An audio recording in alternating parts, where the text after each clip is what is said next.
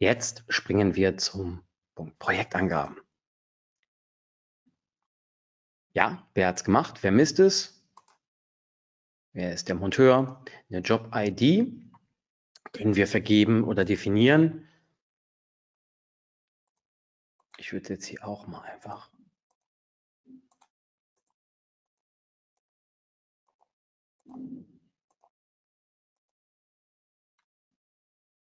Nächstes Feld, Auftragnehmer-ID. Können wir natürlich definieren, ähm, ob wir jetzt der Auftragnehmer sind oder ob das ein Generalunternehmer über uns ist und wir quasi nur der Subunternehmer vielleicht sind.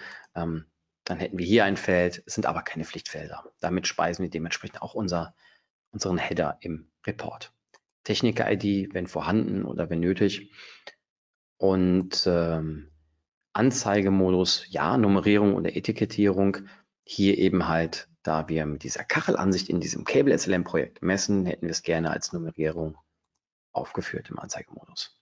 Wir fangen bei der Phase 1 an, das ist ganz wichtig. Also anders als unter dem Punkt Streckenparameter, wo eben halt auch nach der Faser gefragt wird, ist das hier für die Cable SLM wichtig, dieses Feld. Und hier definiere ich eben halt Phase 1. Wir fangen heute mal bei der 1 an, haben hier ein 12er Feld durchzumessen, also gebe ich auch als Ende dementsprechend oder Anzahl der Fasern halt 12 an, die wir heute hier mit dem Projekt zu messen haben. Auf Wunsch gerne auch mit Kommentar. Und das ist dann nun damit gewesen.